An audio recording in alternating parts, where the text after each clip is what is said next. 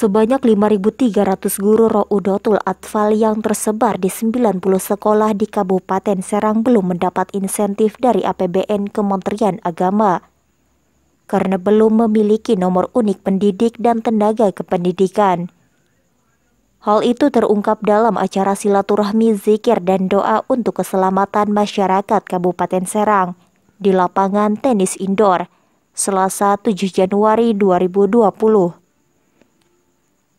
Kepala Kantor Kemenag Kabupaten Serang Tubagus Syihabuddin mengatakan, selama ini guru RA hanya mendapat honor sebesar Rp150.000 per bulan.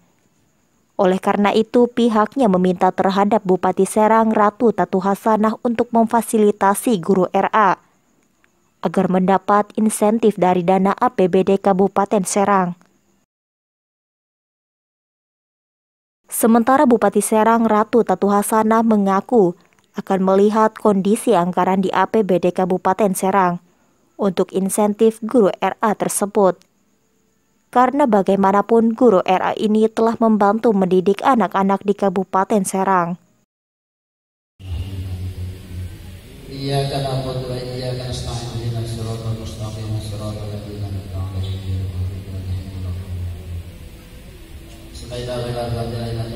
Amin. Baik, selanjutnya kami mohon berkenan kepada Kepala Kantor Kementerian Agama Kabupaten Serang untuk menyebutkan nomor kuponnya.